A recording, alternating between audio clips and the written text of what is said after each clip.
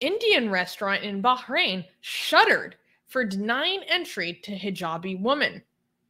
According to the Tribune News of Bahrain, the Bahrain Tourism and Exhibition Authority, or BTEA, shut shut down a restaurant after a manager refused entry to a woman wearing a hijab.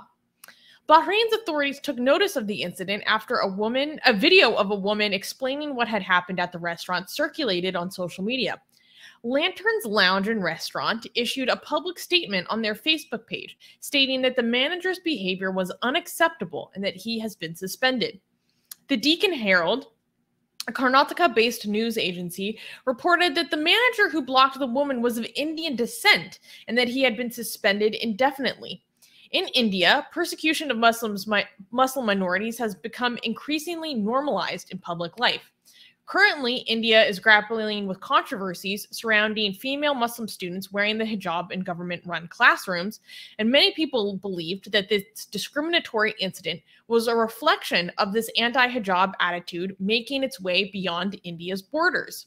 However, the Independent UK, in an update to their article regarding the incident, said that the manager was British and not Indian. However, this did not stop people from throwing harsh criticisms against the supposed Indian identity of the manager. Oh my God. This is racism or bigotry responded with bigotry. Okay. So we had anti Islamic bigotry, which is horrible. And then in response, people responded with anti Indian bigotry. That's basically what just happened. Um, yeah. So, so why did he? What, what the manager that was at the place? Um, so is it this is an Indian restaurant with a British manager? Is that how, okay? How so it is an Indian restaurant in Bahrain. It was originally reported that the person who did this discriminatory action was an Indian Hindu. And then it was corrected by the woman who posted on social media about it. It didn't happen to her, it happened to a friend that she was with, that actually the manager was British. Now, what is uh, confusing and frustrating to me is as people are talking about this news online, people are re- repeatedly conflating uh, nationality with ethnicity with religious background. So right. it's difficult to actually know some of the dynamics or group identities of those involved. Hmm because just because this oh. person they aren't hmm. Indian or of Indian descent, and doesn't mean that they aren't Hindu, but people are just assuming because they're saying that they're British that this person is now white, which isn't necessarily the case. Um, yeah, yeah. It's just a mess all British, around. Somebody could be Indian. Okay, so yeah, you're right. So people are saying he's Indian, and then people are like, no, actually, he's British. Well, technically, both of those things could be true at the same. Like, yeah, somebody, somebody could be a British like Indian. right? Like, I mean, I mean, I don't know. As British, um, British doesn't refer to um, um, ethnicity, does it? Like, you could be British. No. Yeah. Okay. So you could be British Indian. Yeah. Um, but yeah. So it's yeah. People just. But also, I have to, we have to be careful because I think like we also have to be very responsible because I think a lot of people, even in our community, Eh, when they would assume like when they hear news like this and they're like oh it was an indian manager i think a lot of people would be like of course indian. That's you would expect that you know what i mean?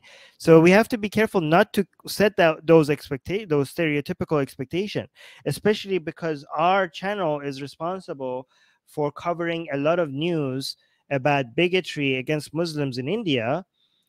I don't want i want to be careful not to not, not for us to encourage um, an audience that all of a sudden expects that for from somebody with an Indian background. You know what I mean? People like, oh yeah, you're Indian, so you're more likely to be a bigot towards Muslims. You know what I mean? like, I don't know what to do to be, make sure that we're not responsible for that because we need to cover the news in India when it comes to bigotry against Muslims. That's the news that needs to be covered. Okay, but our constant reporting of that might leave might encourage certain perspective on people that uh, from people that that we don't welcome right? So maybe we could what we have the way we could like fight back against that is by by using a news item like this to be like guys just don't like yeah this was an indian restaurant and you would I, i'm pretty sure a lot of us would just be like oh yeah indian restaurant kicked out a muslim.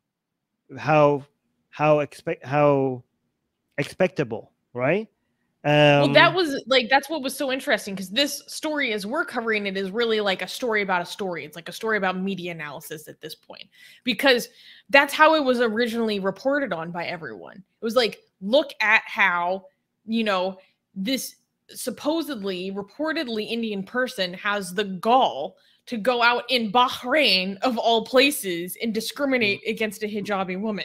right um, yeah you're right actually i wasn't even thinking about that you're in bahrain what the hell Regard actually, regardless of who did it, the ethnicity or nationality of the person who did this, they had a, a lot of nerve. We're like, what were they expecting to happen Wait.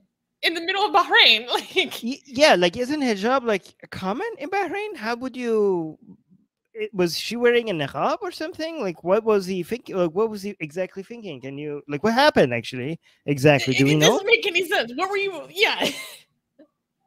like wouldn't you be wouldn't you have to like um shut down the restaurant to like 25% of the women there if you want to ban hijabis It's so weird. Well, and also like the the Maybe- the tourism and exhibition agency, like the restaurant got shut down over this. right Well, I and then mean, it got maybe- reopened and the restaurant you know was like having we're, we're a night of free food for everyone to kind of like make up for this incident um I mean, it's not fair to the restaurant. You had like one stupid manager. I don't think the rest of the employees at the restaurant should be punished for this one manager, right? yeah yeah yeah yeah yeah Murtad skeptic is saying let's discriminate against the dominant group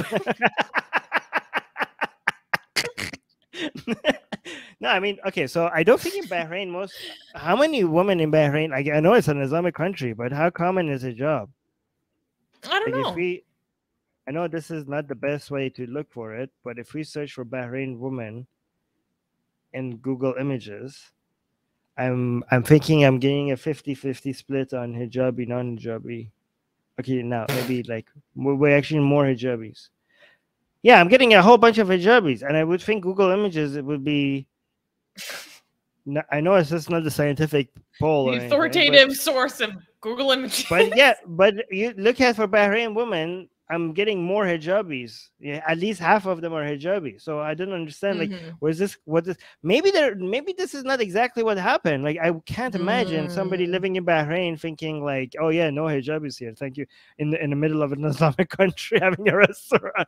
Like, I there must be some like either this person is like a complete idiot, um, or the news is not being reported accurately. I don't know.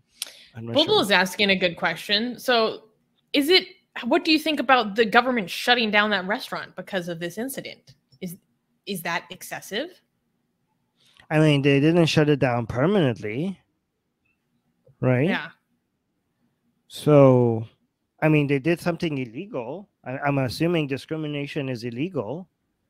I think Yes. they're. I, I think it's fair. They're enforcing the law. They're like, your business is doing something illegal, and get your act together before we open it. I don't think that's excessive by the government. Do you think that's excessive by the government? I think that's fine. Um, it depends on the the like timeline of events. Like if they shut it down even after they had suspended the manager, then I don't think that's fair. Like if the restaurant had already taken the you know um corrective action and they still shut them down, I feel like that's not necessarily right.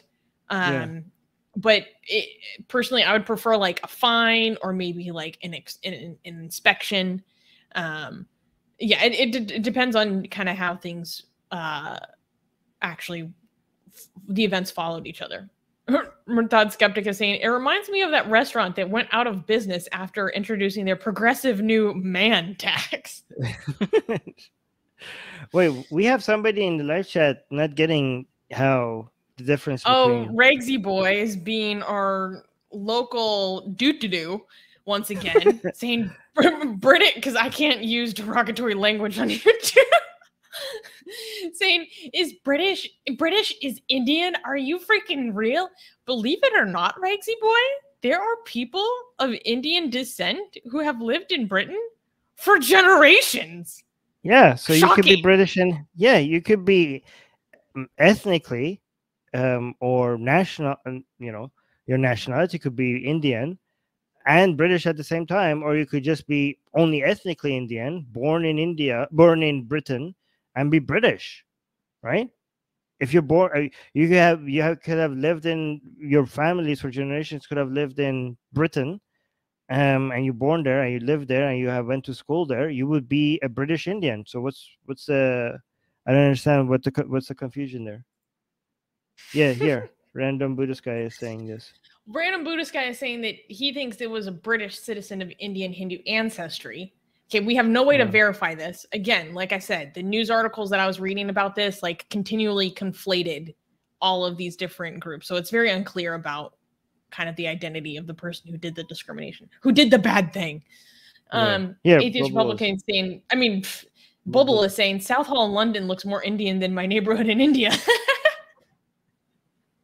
oh, um, this is an yes, that's this is a and that's actually a good thing for uh for London because mm-hmm. I don't know if this is racist against the British, but they don't have good food. Is that racist to say? No, I mean, everyone knows that the best food the in England di- comes from Indians. That's yeah, like I mean, even accepted by the British.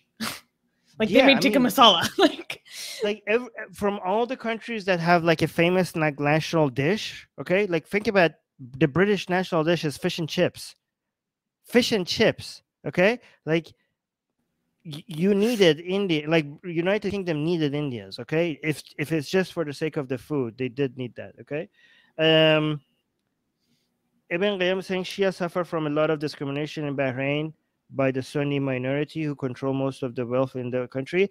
That's true. And that's why the Islamic Republic of Iran is trying to use the Hussein narrative to make them rise up against the authorities. It's trying, this is why Bahrain is a lot uh, very afraid of a uh, of Iranian influence. By the way, the Iranian influence in Bahrain makes the oppression against Shia minority even stronger because the Bahraini officials are afraid of the Shias because of the Shia Iranian influence on them. So you know it's mm. not it's not working in their favor at all yeah. Um yeah what is this? We can read this last and then we go to the next. Pk is saying indians are not allowed dual nationality. Indians have fought for uk in the world first world war. Well okay i'm not sure mm. about this. Is this okay. policy of the indian government or a policy of the british government? That's not clear to me. Okay in that case then the you could be ethnically indian and british at the same time Okay. Yeah. Maybe not. If that's well, true, that's what we were maybe... talking about in the first place. No, no, but because he, I give, he's responding to one of my examples. Like I give, oh. like you could be either ethnically Indian and British, or your nationality could be Indian and British at the same time. But apparently, that is, if that, if he's right, then that is not possible. Um. Oh yeah, this is actually a very funny thing. The British, Bobo is saying the British colonized the whole world looking for spices, but still make crappy food. okay, so the You're going to insult here... the national treasure that is Gordon Ramsay? How dare you? oh, actually, you're right. But but that means that if you want good food, you need to be colonized by Indian instead of colonizing India. Okay, so that's how it works. Atheist Republic needs your help. We've been the target of many legal attacks by Hindu nationalists ever since our founder Armin Navabi blasphemed against Hindu deities.